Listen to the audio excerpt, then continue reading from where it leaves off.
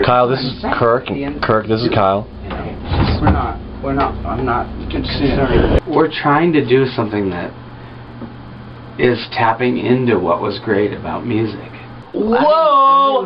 How do you? We turned it down. Where'd we were like, no, go? we don't need that.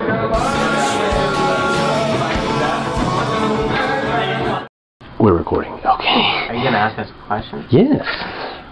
Um, I mean, it is an interview. I, but if you were to describe different elements of Kay Kay, different elements put into the recording and the show and your mindset. if you know music and, and how notes are created with the atoms in the air and, and what happens when you know music hits your ears and what happens in your brain and your body and you realize how much like music is essential to like human nature and and like human evolution. And so like I think you know while you know we were doing something kind of simple and just kind of mimicking our favorite favorite artists and kind of like chopping up you know 12 different songs and making them oh. There is sort of kind of an homage and a tribute with this record. We kind of wear that on our sleeve.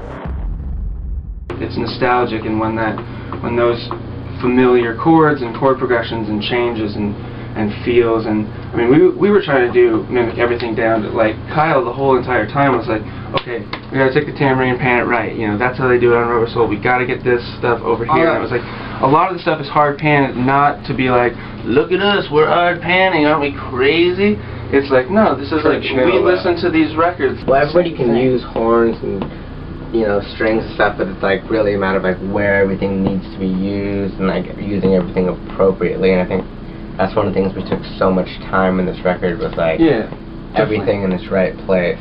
Kurt Do you want to do it again?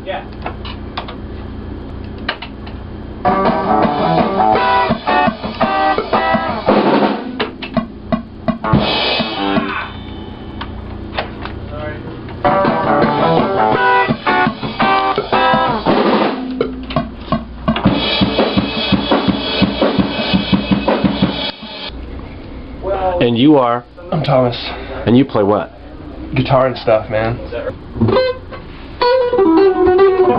Thomas, is there any theory on the stash that you go with? Uh, any stashes that you really admire? You know what? Like, like I wanted to be a count, which I'm not really sure exactly what that is, but I'm almost positive it has something to do with like land ownership. Do you know? Like owning it, like land, right?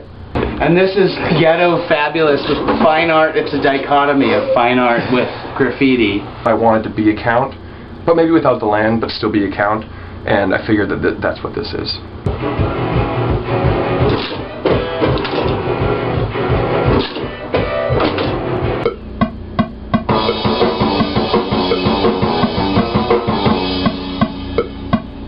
So the record's ready, CD release, words.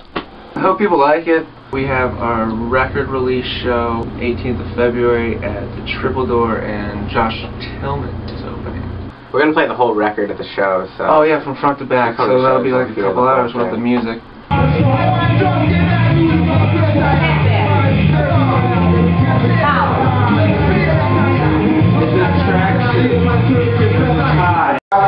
This one's called Cloud Country, and uh, it's just like a, uh, it's kind of like an instrumental track. It's like ends second. They were like so.